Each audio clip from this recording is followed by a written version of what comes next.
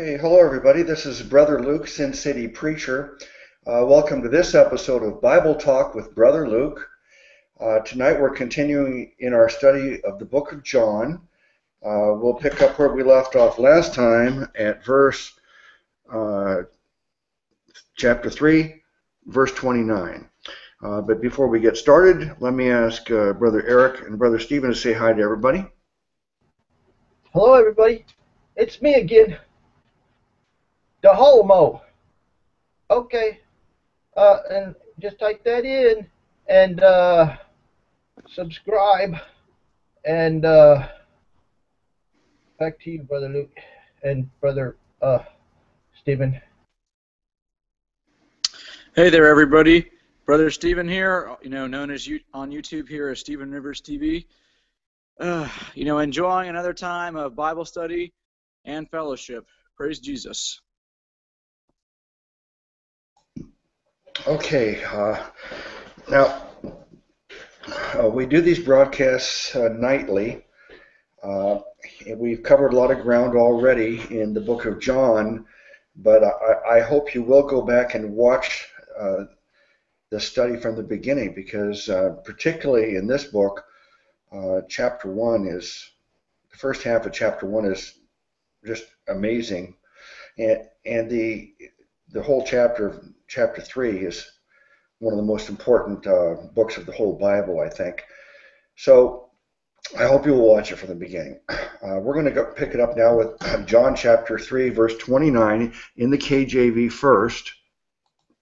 It says, He that hath the bride is the bridegroom. But the friend of the bridegroom, which standeth and heareth him, rejoiceth greatly because of the bridegroom's voice. This my joy therefore is fulfilled. Verse 30 He must increase, but I must decrease. All right, and of course that's that's not in, in red letters, and uh, that is those are the words of John the Baptist. All right, and what are your comments on that? So right there, uh, John the Baptist is uh, admitting to being the friend of the bridegroom. Now, uh, I'm wondering if John the Baptist will be coming back to announce the coming of uh, Jesus Christ, uh, where it's uh, spoken of in the parable, "Behold, the bridegroom cometh." I don't know. there's speculation on that. what do you think?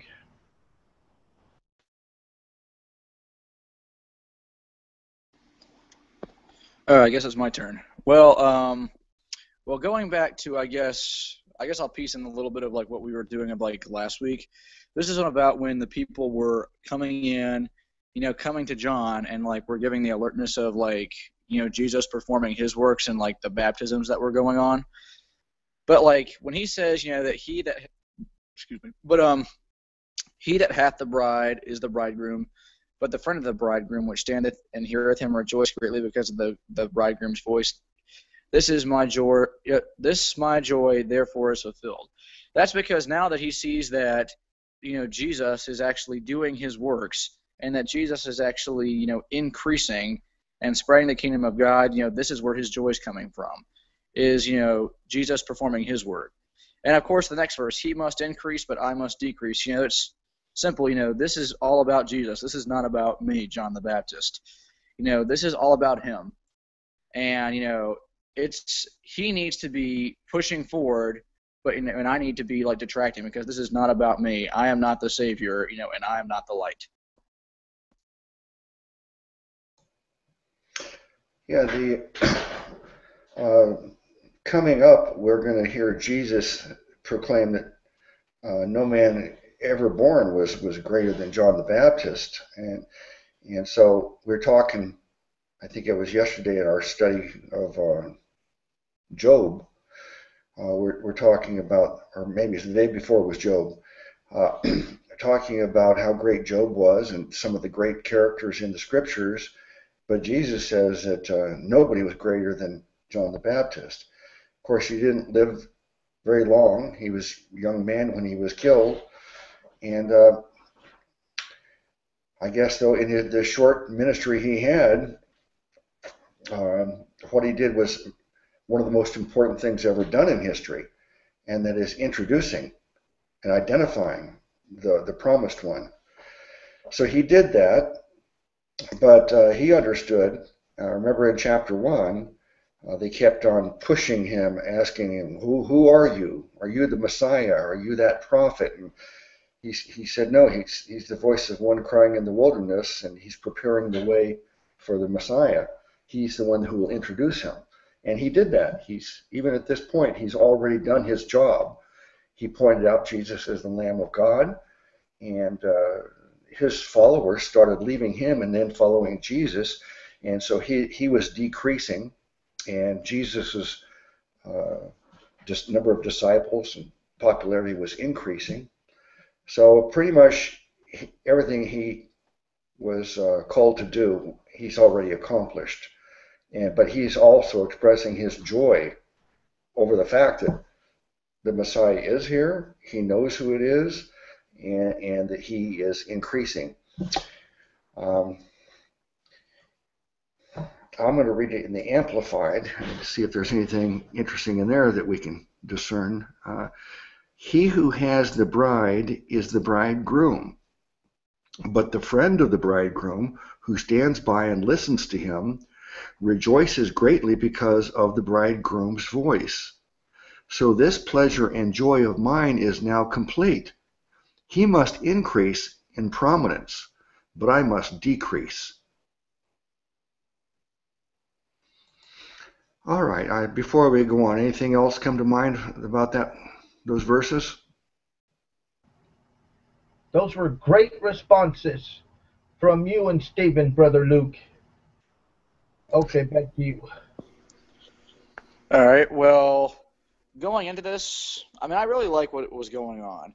You know, by this point, John had fulfilled his job. You know, and Jesus was increasing.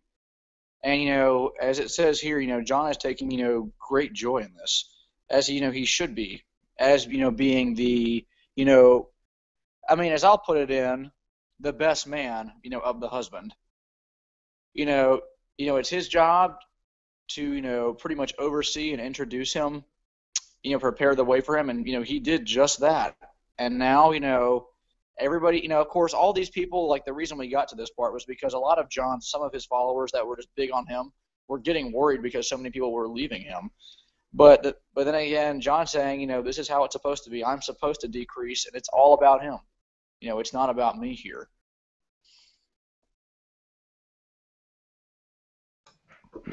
Well, the the term "the best man," I mean, I can see how that applies. Uh, in terms of the relationship between the best man and, and, the, and the, the groom in a wedding.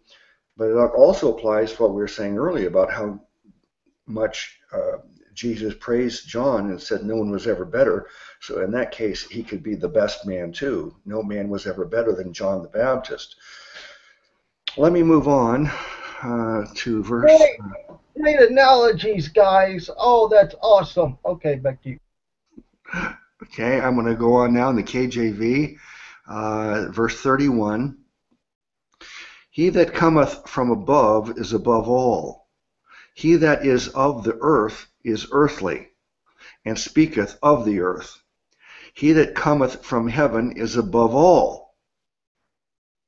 And what he hath seen and heard, that he testifieth, and no man receiveth his testimony. Well, verse 31, uh, I, I, assume this is still John the Baptist speaking here. See, we have. Uh, sometimes it, it's hard to identify what exactly the, this this verse is. Is is it the words of Jesus? Well, in some Bibles, all the printing is in black letters against a white background. But other Bibles, they they print the red letters are supposed to be these are the words of that directly came out of Jesus's mouth. and then you have other other words uh, in the book of John that are the words that John wrote down just writing down his account. It's uh, and and then you've got also what we just talked about. These are the words of John the Baptist that we just read. In this case, I don't know if there's any way of knowing. Uh, I'll be interested to see in the Amplified if if they inter interpret in a way that it's John the Baptist speaking or not. But well, let me get your response to that. Well, I thought maybe I would go back over and highlight all of John's words in uh, blue. Since he was the best man, I think blue would be a good color for him. Okay, back to you. All right. Well, looking at the words of this here, you know, he that cometh, you know, this is about talking about Jesus here. He that cometh from above, Jesus, is above all. And of course, that's saying the P of this earth, which he could be talking about himself here, you know, is, you know, of earth. You know, he's just, you know, a person. You know, he's nothing special. He's not the one. But again, also, that's the same thing, you know, with every person. You know, none of us are Jesus, and there's no other way but him. And it says, He that cometh from heaven is above all. And what he has seen and heard, you know, that he testifieth, and no man receives his testimony. I mean, right now, up to this point, Jesus had been, you know, spreading his word, spreading his gospel, you know, and telling people, you know, all the parables, the heavenly things, but a lot of most people were, you know, not believing and you know were rejecting it. So this is kind of just like for me, like an account of pretty much just looking at, you know, like the people's like response to Jesus, to his testimony, even though you know he was Lord God Almighty and he came from above, and yeah, I kind of like that. We're not exactly sure, I guess, who's talking, but I would definitely have to assume this is John the Baptist in this situation. Yeah, I I don't think that we can, uh, brother Eric. If you want to take the blue ink and, and, and designate John's words, then you're far better than me because I, I, I can't necessarily uh, speak with authority uh, that that certain words are his. Like this, these verses here, it appears to me that it's John speaking still, but I don't know if that was certainty. Well, if you, if you read all, if you keep reading, you will see that it is John speaking in the next verse. Mm-hmm. Well, we'll be going on, but first I want to talk about that verse a little bit more. It says, He that cometh from above is above all. So I'll assume that for a moment this is John speaking, and he's referring to Jesus. So he's saying, Jesus came from above, and he's uh, from heaven. He's above all. And he, just finished saying that uh, that he's just the bride he's just a friend of the bridegroom and that uh, and and the he must increase and I must decrease and then he refers back to Jesus and continuing to talk about Jesus he that cometh from above being Jesus came down from heaven he that is of the earth is earthly referring to himself again I think so he's he's he's drawing this distinction that like he did before when he was asked who he was uh, he, he says, No, I'm not the Messiah, but I'm going to introduce him. And I, the one I'm going to introduce, I'm not even worthy to untie his shoes. And I think this is what he's the point he's making again here is that uh, Jesus came from from above. I mean, he's he's God. He came down from heaven. I'm just from the earth. I'm just, uh, you know, that's why I must I must decrease because it's not about me. This whole thing is about Jesus, not me. That's why I've got to decrease. He's going to increase. And then verse 32, though, uh, I'm not sure what to say about that. And what he hath seen and heard, that he testifieth, and no man receiveth his testimony. Um, I'll, I'll read a little further. He that hath received his testimony hath set to his seal that God is true. For he whom God hath sent speaketh the words of God, for God giveth not the Spirit by measure unto him. I'm going to have to look at that in the Amplified to try to understand it better, but what's your re reaction to those verses?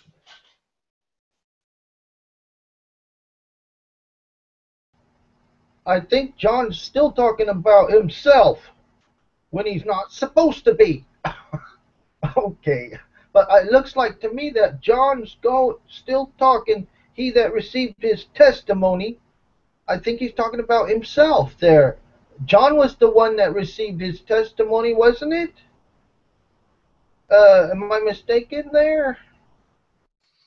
Well, John is the one that gave testimony that Jesus is the Lamb of God, the Son of God. So John gave that testimony. He was the one that identified him. But also, he received a testimony in a sense when the uh, his um, vision or his he heard a voice that said, You're, "When you see someone where this Spirit descends above them uh, like a dove, you'll know that's the one." And then when he baptized Jesus, that's what happened. So that experience of seeing the Holy Spirit on Jesus, uh, that could be the testimony that John received that confirmed that uh, he was right in identifying him. Uh, I'm not sure that that's what it's referring to, but that's that's how I see the testimony that he gave about Jesus and the Holy Spirit gave to John about Jesus. Okay, but it's not real clear there, I guess. Uh, the author uh, didn't make it real clear there in verse uh, 32. Uh, maybe, what do you think, Stephen?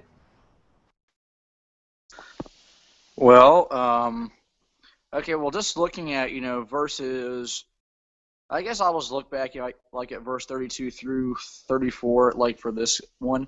Um, well, I mean, and what he has seen and heard, that he testifieth, and no man receiveth his testimony. He that receiveth his testimony has set to his seal that God is true. Well, I mean, is what I was just saying about 32. It's um, you know, Jesus was testifying, you know, of the kingdom of God, you know, and like he had to do it in parables because, as he said, you know, if you can't understand the earthly things I say, then how are you going to understand like the heavenly things that I say? And then um, after that, it says, He that receiveth his testimony, will receive his testimony, has set to his seal that God is true. So those who have like received and like accepted Jesus, you know, believed who he has, like they're the ones that know that um let's say looking that, you know, God is true, it's like they've really come to know, you know, God like the real way. Like having faith alone in Christ alone, you know, as it's supposed to be. Although of course they didn't exactly have the um they're not like us who had the advantage i guess of like looking being able to see into the past and like have all this stuff. But they had known it was true. And then for he whom god hath sent speaketh by the words of god for god giveth not the spirit by measure unto him you know he's speaking literally just of the kingdom of god you know and just everything that he got was from god you know who sent him you know, and Jesus said himself, you know, all this was given from his Father who sent him. That's pretty much all I have, you know, for this one as of right now.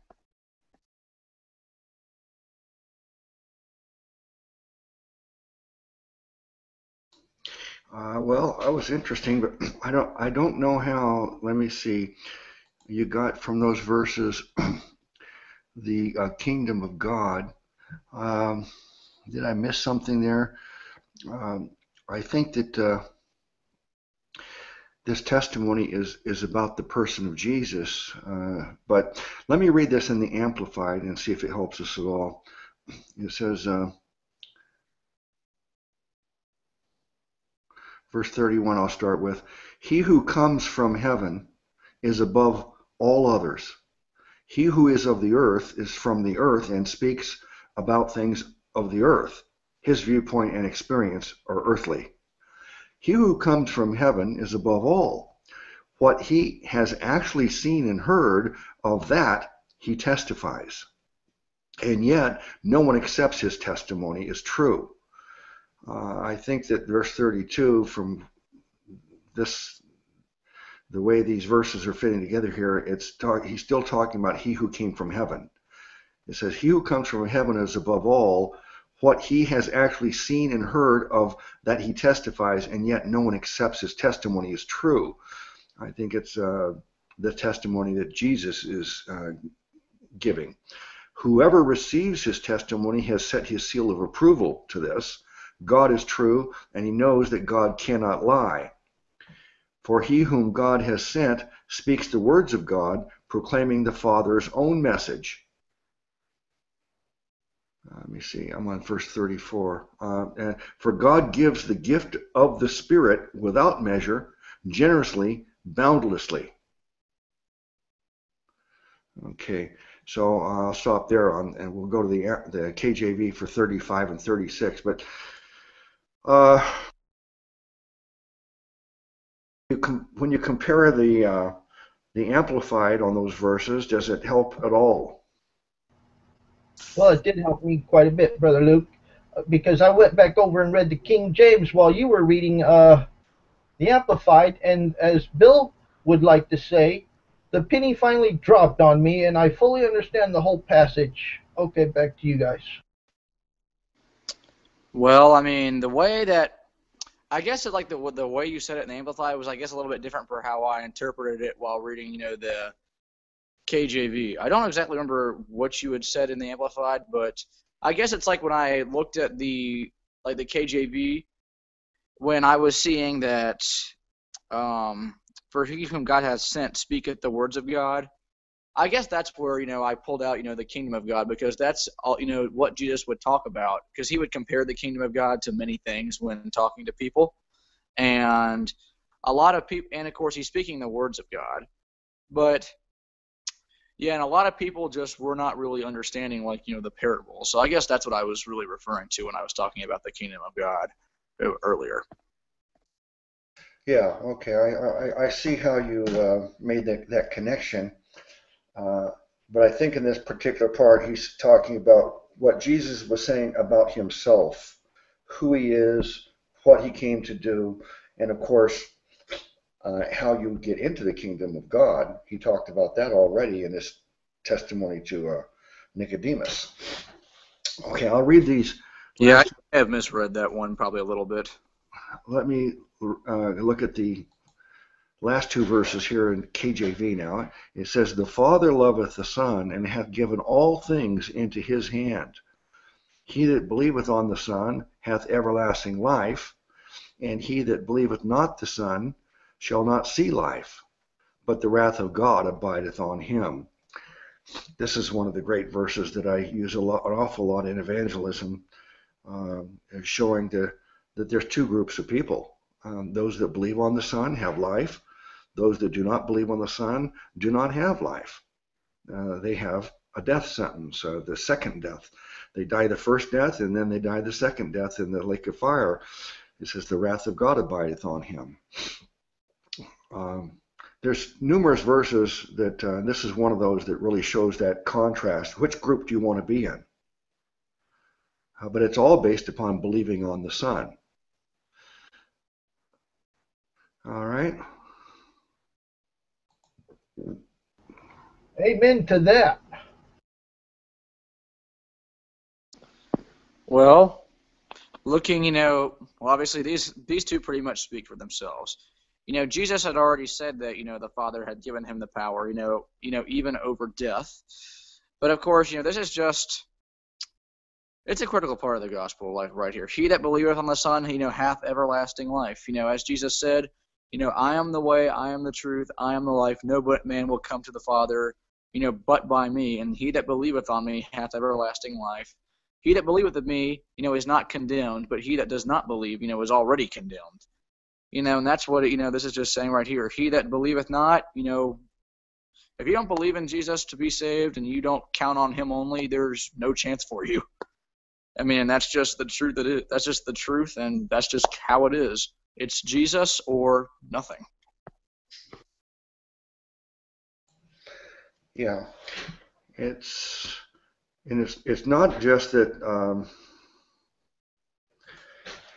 uh, we have uh, we're condemned or we're not condemned. Earlier verse said it said I think in John three fifteen it, it says if you believe on, on on him you're not condemned if you don't believe on him, you're condemned already because you have not believed in the name of the only begotten Son of God. So here you have this the, uh, contrast again. Uh, those who believe are not condemned. Those who do not believe are condemned already.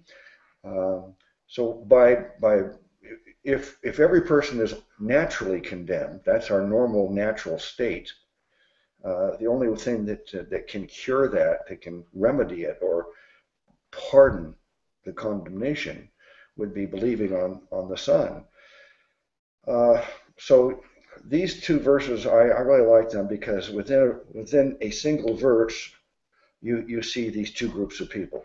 You get to be either one of the condemned or one of those pardoned. You get to be one of those that has life or one that doesn't have life, life but rather has the wrath of God on them. Uh, but then there's that group of people, I think I've talked about this before, I'll probably have to mention it many times as we go through here. There's a group of people that, that believe that uh, uh, everybody will actually go to heaven and because they think that uh, well even if they end up condemned and they don't have life now and but they're, and they're also condemned. As soon as they get into hell you know they'll realize it and they'll repent. And how long do they have to be in the fire before they start you know saying lord lord? Uh, and every knee shall bow and every tongue confess that jesus christ is lord. So if you're in fire i mean you're going to say whatever you whatever you uh, have to say to get out of that fire. So the universalists believe that uh, even if a person goes to hell, uh, someone just sent me an email yesterday, a friend of mine, and it was it had some in, uh, teaching that attached to it that he wanted me to look at, and it, it's from somebody that teaches that the cross and hell are simply the uh, the real true meaning of the cross and hell is a cleansing or or healing method. It's the method by which man gets cleansed and healed, which is not true at all. Uh, so there are people that think that well, everybody, even if people go to hell, they end they end up getting saved anyway. Uh, uh, but uh, that that's not the case. I mean, if we look at John 3:16, it says that one group perishes and the other group has life. And what does perish mean? again, my position on eternal torment is that uh, I have a playlist titled um, Eternal Torment versus Eternal Death. I hope everybody will watch that playlist. It's it's a very thorough, arguing against the, the doctrine of eternal torment and arguing for what's called conditional immortality and annihilationism. But I think that uh, if people could go to hell and then get saved after that, we couldn't say that there's a, a particular group that actually perishes. Because when you go to hell, if you can get out of hell, you don't really perish, do you?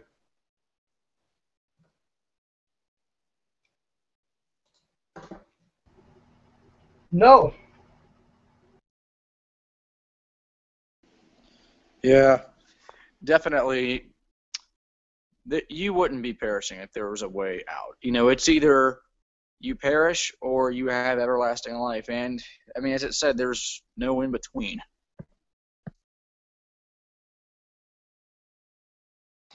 All right, I'm going to read these last two verses here in the uh, Amplified now, verse 35 and 36. The Father loves the Son and has given and entrusted all things into his hand. He who believes and trusts in the Son and accepts him as Savior has eternal life. That is, already possesses it. But he who does not believe the Son and chooses to reject him, uh, disobeying him and denying him as Savior, will not see eternal life, but instead the wrath of God hangs over him continually.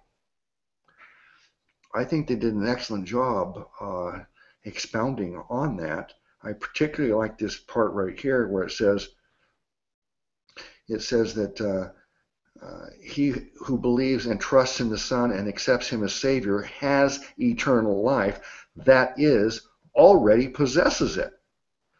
And that's an important thing that people miss sometimes is that it says we have, you have eternal life. That means you possess it right now. And if you possess eternal life, the, it, it, obviously, if it's eternal life, then it could not be ever forfeited, lost, or, or given back or anything else, or, or it would have never been, could never be legitimately called eternal life. Uh, so it's a, it's a, it proves a lot of things that uh, that verse, if you understand that hath life is present tense.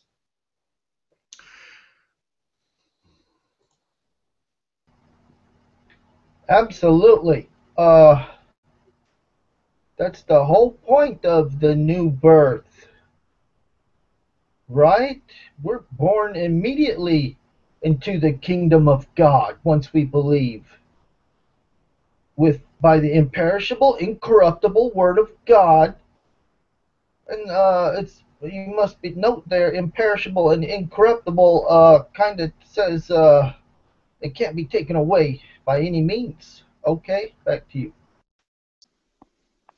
Yeah, well, I mean, salvation from Jesus is a gift, and you know Jesus promised salvation to everyone who believes, and of course the tense is you know hath everlasting life, as in you have it. But the thing is, you know, when Jesus makes a promise to you, like that you have everlasting life if you believe on Him, you know, He's not like you know a human who can break a promise. He's not going to break that promise. Like He's going to stay true to His word, and like once someone believes you know, as Jesus said, you know, you have passed on, you know, from death to life. You know, you have everlasting life. You're born to the kingdom of God. You have the Holy Spirit, and you know, He is your Savior, and you know, and He's your Lord. And like, and when Jesus said, you know, it's not by you know any works or any other thing, but just by believing on Him, and by believing on Him, you have it. You know, it's yours, and it's never going to be taken from you.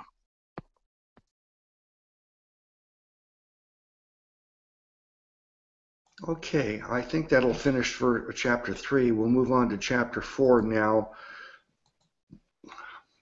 And uh, reading first in the KJV, it says, When therefore the Lord knew how the Pharisees had heard that Jesus made and baptized more disciples than John, uh, though Jesus himself baptized not, but his disciples, he left Judea and departed again into Galilee.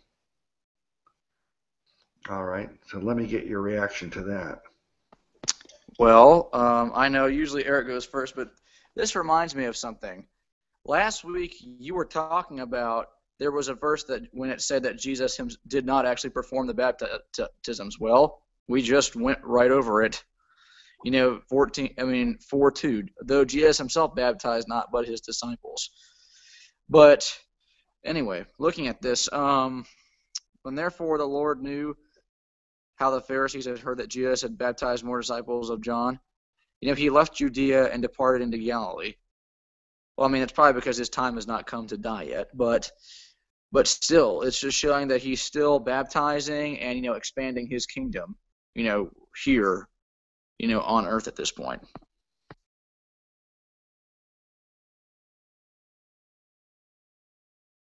Yeah, I was wondering if you're going to notice that that verse confirmed what I was uh, claiming. That we were discussing two or three verses that uh, if we didn't know better, we would think that Jesus was performing baptisms.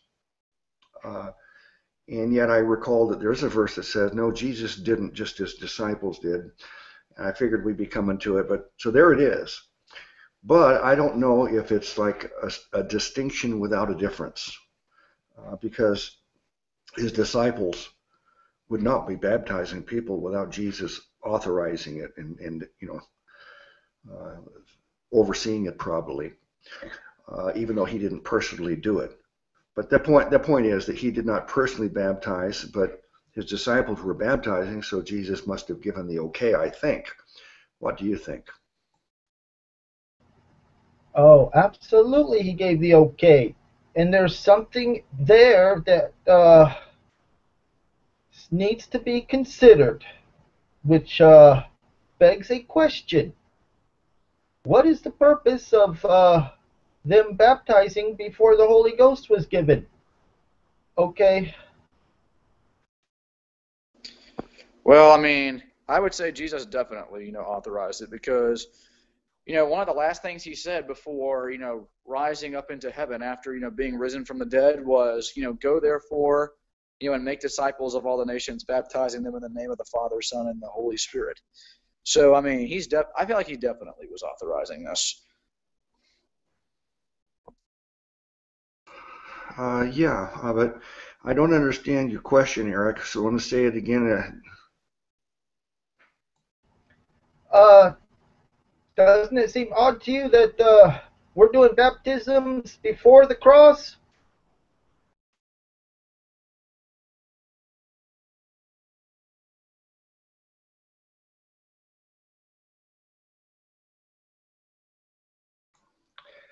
No, it doesn't. It doesn't really seem odd to me. Uh, uh, John was doing baptisms. And what was the purpose of John's baptism?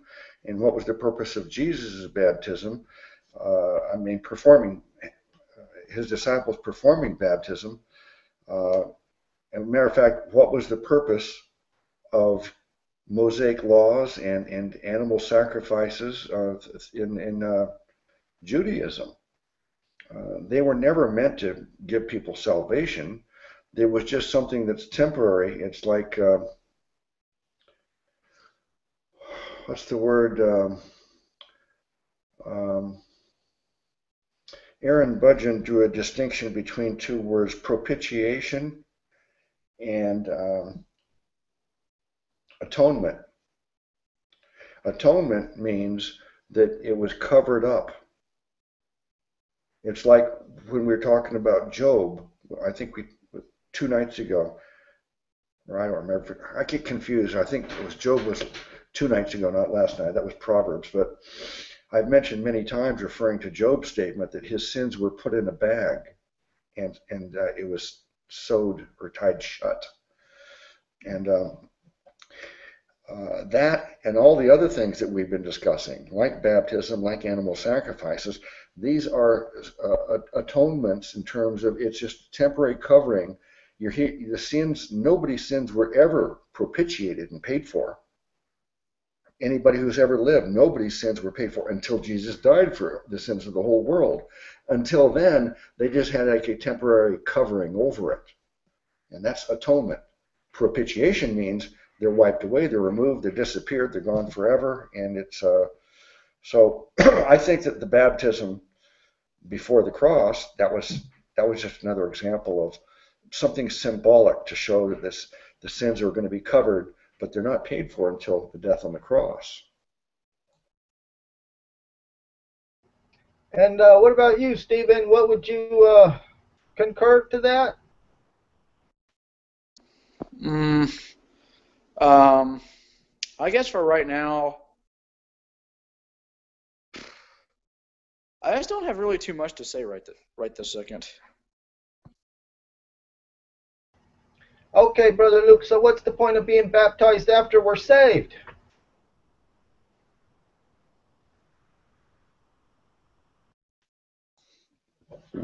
Well, I've, I've talked at length about this. I, I, maybe in John I've talked about it. Uh, but uh, the, the only baptism that really has uh, um, um, should I say, uh, really accomplishes anything for salvation is the baptism of the Holy Spirit. And that happens to everybody at the instant they put their faith in Jesus. The Holy Spirit comes into them. And that's baptism of the Holy Spirit. Um, and I, I, I, think that I thought by now John would have already made the distinction, of John or Jesus, between uh, two types of baptism. We had, I think, one of them spoke about baptism uh, with uh, born of water. Now, Jesus spoke of being born of water and of the Spirit, but uh, I'm talking about baptism. Uh, I think that there's going to be a, a, an explanation of this coming up. But the purpose of water baptism for a believer is it's I believe it's not required for salvation. Otherwise, we would say that it's faith plus water baptism, faith plus some kind of religious work that you have to do. Uh, Uh, it, and and then there, there's a group of people who believe you must be water baptized. The the uh, theological term for it is called baptismal regeneration. They think you believe in Jesus and you're not saved until you get wet. When you get wet, the water causes you to be born again, regenerated. Uh, but uh, that's not biblical. And then there's another group of people I've mentioned numerous times, the Paul onlyists. They're also called hyper or ultra dispensationalists. And, and, and, and they believe that you must never get wet. You ne must never get water baptized because it's an indication that your faith is not entirely on Jesus. Your faith is divided between I got to believe in Jesus and get water baptized. So they they basically forbid it. Uh, but the, the correct answer, I believe, is that we're we don't have to get water baptized for salvation, but it's also not forbidden. It's encouraged and, and said get water baptized. Uh, over and over again, we give examples of people who do get water baptized after they get saved. But it, I think the water baptism is the first and, and uh, opportunity a person gets to make some kind of public statement about uh, I'm uh, I believe in Jesus. I put I just put my faith in Jesus, and I I don't mind everybody knowing about it. I'm not embarrassed. I'm not ashamed. I, I'm I'm willing to go public. And the water baptism, being submerged in water, that's like being believing in Jesus or believing into Jesus, being immersed in, not immersion in water, but immersed into Jesus. It's also symbolic of the, the death and burial, and then coming out of the water is the resurrection uh, of, of Jesus and the one that we look forward to. You know, we, we die spiritually, we're born again spiritually, and we will be resurrected physically. So there's a lot of value and reason for us to get water baptized, but it's not it's not essential for salvation. Now I, have explained this quite a few times in videos. I, go ahead. Right, and uh, we know according to scriptures, there is one baptism, and that's uh, when we get born again. And uh, as far as being baptized after we're saved, uh, there is a scripture that mentions that that's uh, having a clear conscience before God. Uh, are you familiar with that verse? I'm sorry, I was rereading the verses we just covered. I lost track of what you're saying there. Go ahead, say it again, please. Uh, there is a verse uh, that states, uh, "Baptism doth now save us." Uh, even baptism doth now save us, but not by the putting off of the uh, something or another, but by answering, uh, having a clear conscience before. Okay, I'm gonna look that verse up real quick. Uh, what it? Uh, have you ever heard? You know what verse I'm talking about? No, I don't know. Uh, okay, you can find that. We'll go back to that later. But Stephen, anything about this before we, we move on? Uh, yeah. Well, I mean, when it comes to like you know water baptism, I mean, I believe you know everyone who's been saved should. I think everyone should do it because it's it's a big time testimony about you know being saved, you know being you know you know having the old man dying and you know rising again, but because of Jesus, it's it, you know it's a testimony. It's very important. But of course, you know, the baptism of the Holy Spirit definitely takes place, you know, when you are saved. But of course, you know, you'll see it all throughout, you know, the Bible. Like you'll see, like actually, mostly in Acts from what I've seen, but you'll see, a, you know, a bunch of instances where you know the Holy Spirit was received before people were even water baptized. So, I mean, you, know, you definitely don't have to, you know, be water baptized to be saved. Although it's definitely, you know, it's definitely a testimony that you everyone should do, but you don't have to do it to be saved because that'd be adding something else to salvation. That's like having faith in the water and Jesus when clearly, you know, the only faith that we're supposed to have is in Jesus, you know, and in Jesus alone.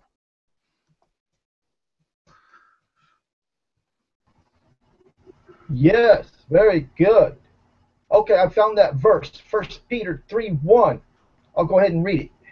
The like figure whereunto even baptism doth also now save us, not the putting away of the filth of the flesh, but the answer of a good conscience towards God by the resurrection of Jesus Christ.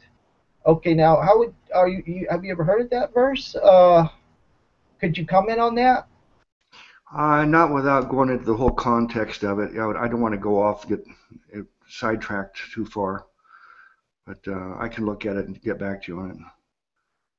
I'm trying to find a, something by Geisler, not the Geisler you're thinking of, uh, uh, on Acts 2:38. Um, it talks about uh, baptism should be translated immersed uh, rather than the word baptized. We think of baptism as being immersed into water, but the when we, if we think of the word being immersed, uh, then we can see that it's it's referring to um, uh, immersed into Jesus by believing into Him, as I was trying to explain. But I don't see it. It's Acts two thirty eight, but I'm can't find the so, name channel.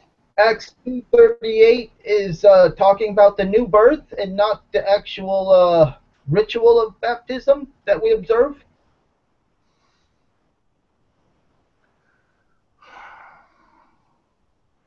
What do you think, uh, Stephen?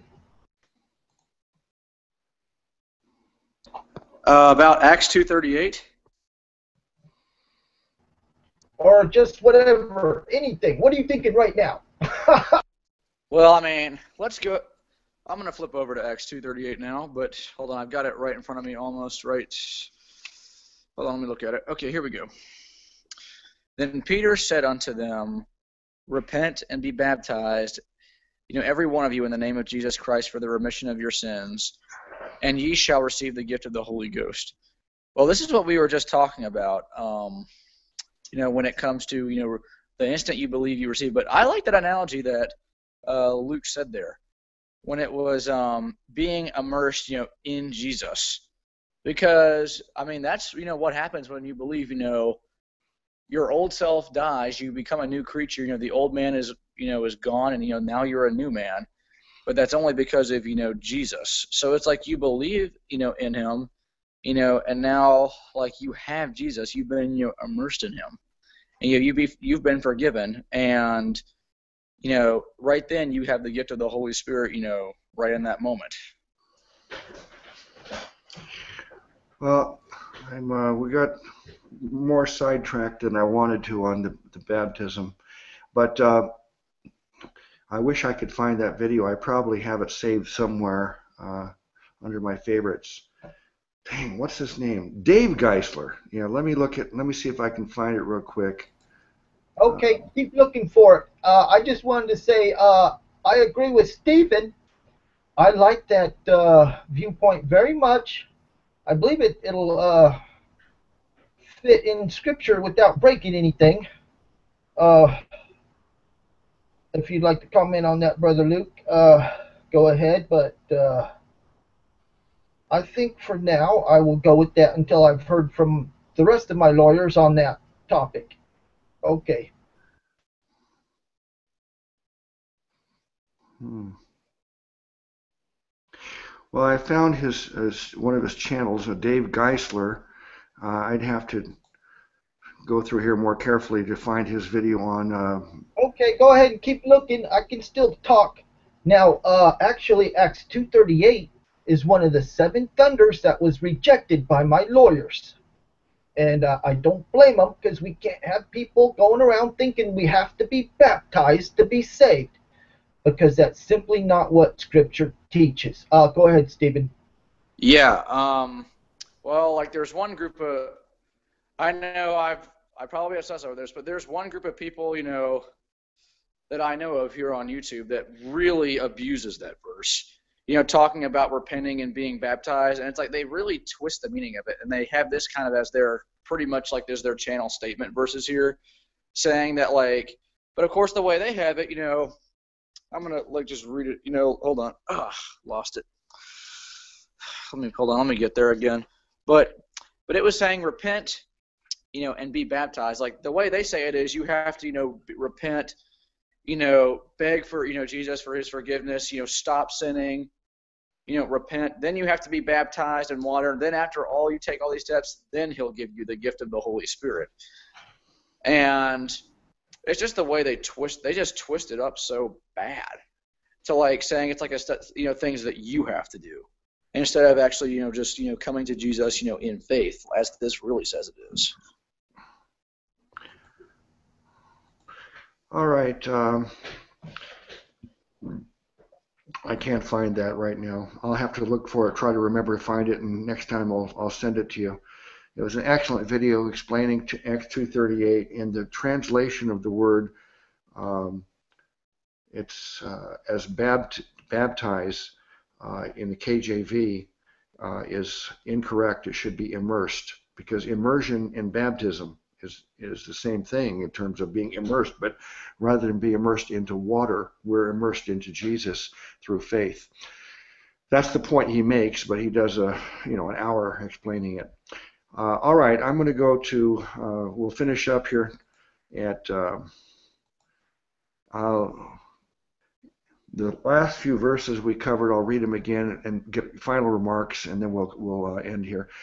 When therefore the Lord knew, oh, let me read it in the Amplified. It says, So when the Lord learned that the Pharisees had been told that Jesus was making and baptizing more disciples than John, although Jesus himself was not baptizing, but his disciples were, he left Judea and returned again to Galilee.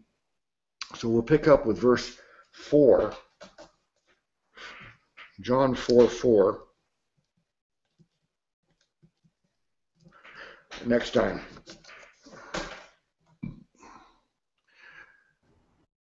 Okay, uh, so let me get you guys, give you a minute for each of you to uh, make any um, uh, summary remarks about the study today. Well, I'm sorry I bogged us down on that baptism thing because I was looking ahead at verse 4 where Jesus must needs go into Samaria and I had a wonderful epiphany that I, I just can't talk about it now till uh, tomorrow's episode. okay, back to you. Yeah, I know we definitely got you know really sidetracked you know in the last 15 or so minutes, but um, but yeah, looking back at this, you know, looking at you know the bride, the bridegroom, you know, he must increase, but I must decrease. You know, this is all about you know Jesus. He is the one who came from you know heaven. He was the one whom God sent and you know he spoke you know God's word. You know a lot of people you know reject him, you know, but those who you know have accepted you know him, you know have set to his seal that God is true. Like they've actually come to like the truth, you know, in Jesus and you know about God uh, rather than you know the version that you know the Pharisees had given, you know, at this time. And you know he that and of course the most important verse I would say that we've studied you know tonight is definitely you know John 3:36 he that believeth on the Son hath everlasting life, and he that believeth not the Son shall not see life. You know, but the wrath of God abideth, you know, on him, because that is, you know, that's the only way to be saved. Yep, I know. I know. Looking at the time right now, it's probably about that time that we, you know, share the gospel and give our invitation as we're, you know, as we're getting close to the end. So I guess I know, like Brother Luke is going to do this, but I guess I can get this started a little bit beforehand. Um, but looking at you know that verse three, that's it's very important. You know, only by coming to Jesus can one be saved. You know, it's not through you know any other means, not through you know any religion, you know, not through any works, you know, from any self effort, or just from literally you know anything else. Not the sun, not a tree. Okay, I know I'm going a little bit abstract here, but it's just there's nothing else besides Jesus. You know, as Jesus said, I am the way, I am the truth, I am the life, and no man will come to the Father, you know, but by me. You know, the gospel is, you know, it's incredible. You know, it's not just, you know, it's the good news. And it's just it's not just some story because it's true and because it just shows how amazing God is. The fact that he was willing to come here, you know, in the flesh to this planet, willing to take on flesh, you know, take on, you know, potentially, you know, our corruption, but yet he did not sin. He was perfect. You know, he lived the perfect life. He fulfilled the law. He pleased God. and you know he did everything that his father sent him to do. Then, you know, on top of all that, you know, he promised, you know, everlasting life, to, you know, to everyone who believes on him. He performed miracles, but you know, he ultimately proved who he was when he rose from the dead. But before that, you know, he was crucified and you know he was buried for three days. And then he rose again you know proving who he was. But when he died on the cross you know he died for our sins and he pinned all of our sins to the cross along with him so that we you know will all be washed away. You know as we were talking about you know those bagged up sins of job those were all released onto jesus and you know as is every sin that we do. And you know eternal life is a gift from jesus it's not a work or anything you know jesus bought it with his blood and by dying for us and there's no other way. There's literally nothing else. He gave, you know, the only sacrifice, you know, and afterwards he sat down at the right hand of God. But only by believing on him and accepting the gift, you know, can one be saved. And of course, to accept it is to believe. You know, you come to him, you put all your trust in him alone, you know, and not yourself. You know, just ask him to save you, and you know he'll be very faithful. And you know, once you believe on him and you're saved, you're saved forever. You have his Holy Spirit. You'll never ever have to worry about salvation again because, you know, it's guaranteed to you. And, you know, Jesus' words are not going to pass away. You know, even as it says, as heaven and earth will pass away, my words will never pass away. And he's not going to take back his promise. So that's it. Faith alone, in Christ alone. That's the only way to be saved.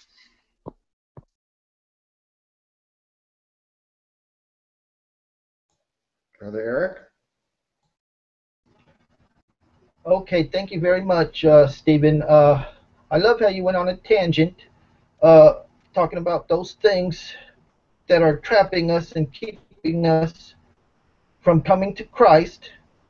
And if the truth be known, all those things that we are clinging to that are keeping us from coming to Christ are shouting at the top of their lungs, Don't look at me, Look to Jesus! Because this whole universe was fashioned after the death, burial, and resurrection of our Lord Jesus Christ. Okay, back to you. Yeah, I mean, just one last comment. You know, it's like the nat- the man's natural way is, you know, we just want to fix things ourselves, and we want to do it ourselves. But you know, that's not the way. You know, we can't factor anything into our salvation besides, well, Jesus told us to believe, but you know, you have to believe He's the one who saves, not us. And I mean, you have to come to him and you have to look to him. There's nothing else you can do because Jesus paid it all with his blood. You know, it's and of course it's just an amazing gift considering the size of this universe, you know, and how many people there are, and the fact that he was just willing to love every single one of us and you know and pay for our sins. It was just incredible. So you know, that's what I would just encourage to everybody out there. You know, and just plead with everybody. You know, you know, stop trying you know, just simply come to Jesus, you know, and, you know, let him give you rest, you know, and let him save you and believe on him. Okay, uh, well said, and and that's that's what uh, we call the gospel, and the word gospel means good news. So you've just heard the good news about the free gift. Yeah, if you understand what has just been said, then right now you should be jumping for joy if you really understand it. Because what we're telling you is that I've got really good news for you. Jesus is offering eternal life in heaven to you as a free gift. Do you want it? It's so simple, a little child could understand that. And that's what Jesus wants from us. He, he wants childlike faith. Uh, but if you want to be like a philosopher or you want to try to uh, you know complicate things and uh, uh then uh, this simple gospel this good news about the free gift it, it just might be too too simple for you that's unfortunate but some people think it sounds too simple and too easy but that's what you need to accept that it really is simple and easy so there will be two groups of people. I mentioned earlier that there are some people think that eventually everybody gets to go to heaven, but uh, we got too many verses that show a contrast. John 3:16 says, "For God so loved the world that he gave his only begotten Son, that's Jesus, that whosoever believeth in him should not perish, but have everlasting life." So it tells you that there's two options. You can perish, or you can have everlasting life. Some people will perish. Some people will receive this gift of everlasting life by faith in Jesus. Uh, another verse says that uh, uh, whoever um, believes in Jesus is not condemned, but whoever does not believe in Jesus is condemned already, because they hath not believed in the name of the only begotten Son of God. So we have a group of people that are condemned, another group of people that are not condemned. They, will go to heaven instead. Uh, you've got Romans 6:23 says the wages of sin is death, but the gift of God is eternal life. So you've got death, and you know there's actually two deaths: the the mortal death, where when we all die, and then the the the second death, where people who never put their faith in Jesus they die the second death in the lake of lake of fire. So you can have death, or you can have eternal life as a free gift from Jesus. Uh, I have a video that explains these, this contrast better. The, the title is um, A Matter of Life and Death, Life or Death. So I hope you watch that video too. But well done, brothers. Um, I'm sure everybody understands now that uh, salvation is simple, salvation is easy. Jesus did the hard part. He suffered and died for us, and uh, he he bought it with his blood, and then he says, Here it is. I paid for it. I'll give it to you if you want it. You want to go to heaven? It's that easy. I hope you put your faith in Jesus tonight. And if you do, please make a comment on this video. And thank you for watching, uh, brothers. Thank you for participating with me tonight. And uh, bless you all in the name of our great Savior God, Jesus Christ.